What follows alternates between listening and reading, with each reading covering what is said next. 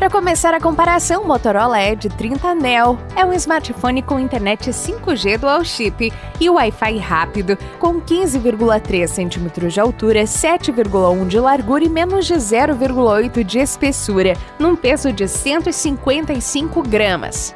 Por sua vez, o Motorola Edge 40 é um aparelho com internet 5G Dual SIM e Wi-Fi rápido com 15,8 centímetros de altura, 7,2 de largura e 0,7 de espessura, num peso de 170 gramas. Na parte da frente, o Edge 30 Neo tem display infinito de 6.3 polegadas Full HD+, o sensor de digitais na tela e a câmera frontal de 32 megapixels. Já na parte da frente do Edge 40, temos display infinito de 6.5 polegadas Full HD+, o sensor de digitais na tela e câmera frontal de 32 megapixels. Agora, na parte traseira do Edge 30 Neo vem somente a câmera principal dupla de 64 e 13 megapixels com flash. Enquanto isso, a parte traseira do Edge 40 traz somente a câmera principal dupla de 50 e 13 megapixels com flash.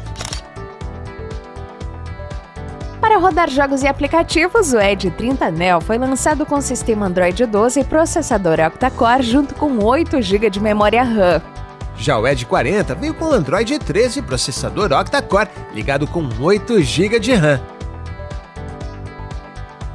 Além da bateria 4020, o Edge 30 Neo tem armazenamento de 256 GB para salvar seus apps, fotos e vídeos.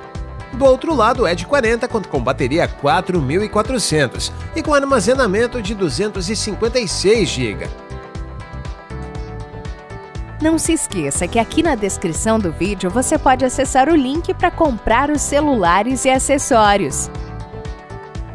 Antes dos preços, os destaques finais do Edge 30 Neo são design de cores Pantone, as câmeras com estabilização ótica e modo noturno e os alto-falantes estéreo.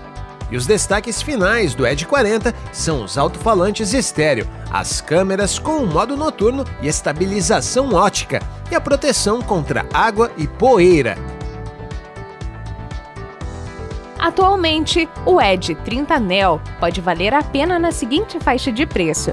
E é claro que ele traz tecnologia NFC para pagamentos e demais funções.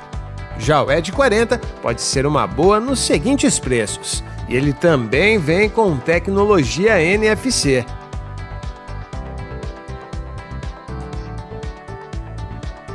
Legal, né? Veja as nossas dicas para os dois celulares, os links na descrição do vídeo e se inscreva também no canal.